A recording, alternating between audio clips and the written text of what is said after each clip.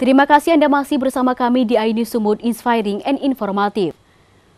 Pemirsa seorang kondektur truk terlibat baku hantam dengan mandor terminal bus setelah pengemudi truk memarkirkan kendaraannya di sembarang tempat dan memicu kemacetan arus lalu lintas karena menghalangi pengguna jalan lainnya masuk ke terminal bus. Aksi baku hantam yang terjadi di Kelurahan Perdamaian, Kecamatan Rantau Selatan, Labuhan Batu ini pun sempat menjadi pusat tontonan warga.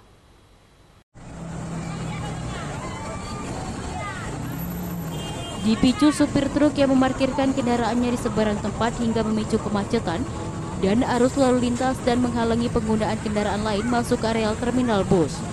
Seorang kondektur truk terlibat baku hantam dengan bandor terminal bus di jalan masuk terminal bus tepatnya di Jalan Lintas Sumatera, Perdamaian Rantau Selatan, Kabupaten Labuhan Batu, Sumatera Utara, Selasa siang.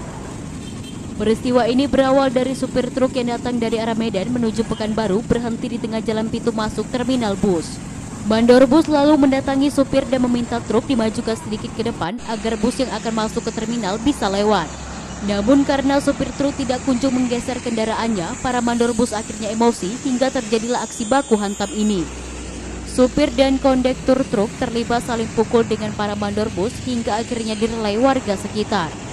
Salah seorang mandor bus mengaku berang dengan ulah sopir truk yang tidak menghargai sesama pencari rejeki.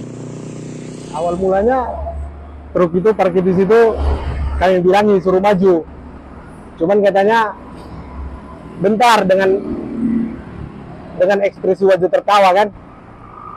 Ya udah kami tunggu bentar. Setelah itu supirnya keluar lagi. Eh maju bang, kami bilang.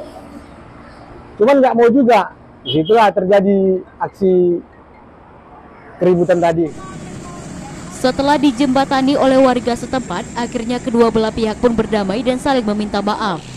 Dari Labuhan Batu, Ikang Amanda, iNews melaporkan.